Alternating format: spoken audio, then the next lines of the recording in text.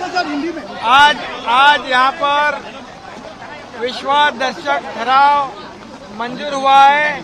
164 against 99 ये बहुत भारी थम्पिंग मेजोरिटी से ये ये सरकार पारित हुआ है। ये बाला साहेब ठाकरे जी के आशीर्वाद से ये सरकार आया है और उनके हिंदुत्व के विचार को हम लोग आगे ले जा रहे हैं।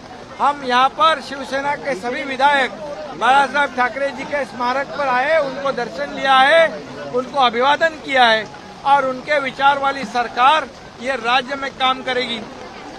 मैं और खुद उप मुख्यमंत्री देवेंद्र फडणवीस साहब और हमारे सभी सहयोगी इस राज्य को आगे बढ़ाएँगे, इस राज्य का विकास करेंगे।